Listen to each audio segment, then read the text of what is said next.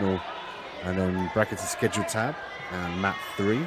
You'll see the matchups that are due to commence on mat three. Right now, we have the women's gi brown belt and black belt professionals, heavyweight, so under 95 kilograms. The silver with the red belt, and Mayara Moreira with the black belt here, working off the back position. Trying to pass the arm across and funnel that right leg across the body.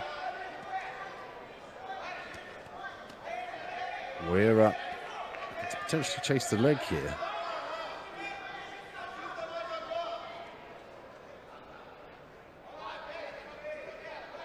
She can clasp both her legs across. Got to be careful about the count footlock though on that right leg. You see there, De Silva looking to grip. What she's going to do is reach around with her right arm to secure that figure four. And she can roll off towards the uh, footlock. At this point in time, though, her right leg is a bit of an issue. Not so much from the submission attempts, but the fact that in that bottom side position here, Moreira could pass the leg across and create a disbalance off to the right side and utilize that to get to that top position. And with De Silva with a two-point lead already, so I think De Silva's using this opportunity to stay in the top position, didn't chase after the footlock. A wise decision as well, given how much time's left on the uh, the uh, timer here, and, and she can look up at that at any time to see how much time is left. She can literally see how the fight is transpiring with regards to points as well as time. Three-point lead here now for De Silva. Warrior on this bottom position with the lasso. Offers her affordance to get a disbalance off to the left side of her body. Also prevents the guard pass. At this point in time, though, here, top position from De Silva. She's using the shoulder. Heavy pressure, looking to strip the grip there with the opposite side leg.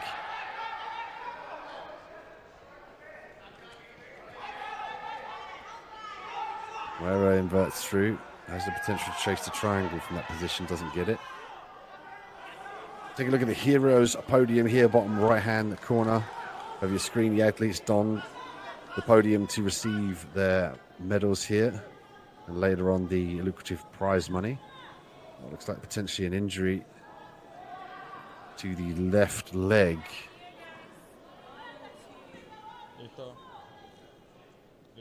Mayara, Mayara here being attended to by the medics.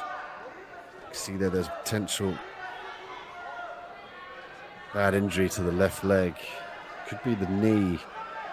Often we see knee injuries in the top position of an athlete. See if we can check out the replay and figure out where the, uh, the infraction took place.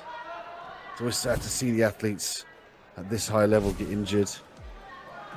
Here we see Mara in the top position, trying to pass the guard.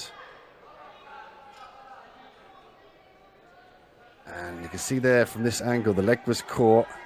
Yeah, maybe the LCL in the knee, the outside ligament, just flexed her leg to the outside there, put some pressure through the ligament.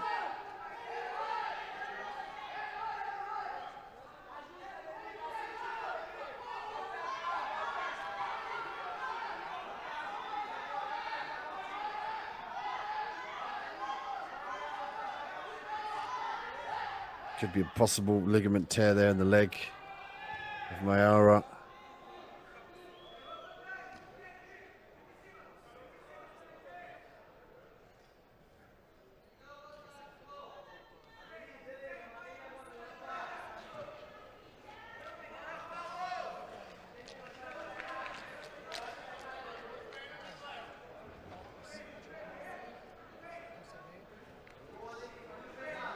Oh, interesting to see it carry on. Mayara looked like she damaged that left leg. And is that going to be something that De Silva goes after here? Or starts to exploit the fact that the uh, balance might be compromised on the left leg of Mayara?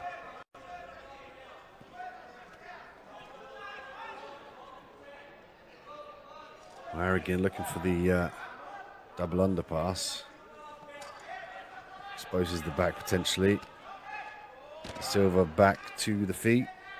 Jumping guillotine there from Mayara. Doesn't get it. Advantage though, Mayara. And this changes it now. Mayara, last person to score. Still two minutes on the clock. Silva now has got to pull the trigger and start to go. Looking to pass the guard. She can skip off around to her right side as well to facilitate this guard pass. She's got to peel the legs down and use the chest to stack the legs. She's got to free that right arm as well at the lasso. Looks like she's going to try and stack past the lasso grip here. But the second she lets Mayara open the guard up, the hips and the knees towards the sky, she offers the affordance of the leverage. So you can see here preventing the guard pass. She skips across and immediately that inside grip. Nice work from De Silva though to strip it in this instance. See there the compromised left knee of Mayara. She was not really readily available to drive forward and get back to her feet and wrestle. Instead, she pulls guard. Again, this is going to put pressure on that uh, the LCL lateral cruciate ligament on the outside of the knee It's one of the positions we sometimes see it flex too much and it starts to get injured is this position here where the uh, the foot is turned in towards the body. knee on belly there for the Silva. Mayara trying to frantically chase the foot here. Looking for the knee bar. Gets the angle. Nice regain of the angle there from De Silva. That looked like it was close to being finished. She hunts after the uh, straight footlock or the Achilles lock. Nice work from De Silva there to skip past. Silva up 3 to 2. 23 seconds left here. There's an extra three points for the guard pass. We saw glimmers of hope there from Mayara chasing the submissions and even regaining the points advantage. But uh, De Silva taking that away. Silva from AFNT. Mayara from GF team.